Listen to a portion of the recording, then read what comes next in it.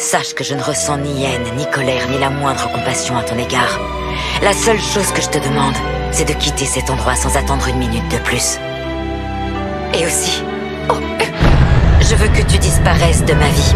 Je ne veux plus jamais croiser ton regard. C'est la chose que je souhaite le plus au monde, du plus profond de mon cœur.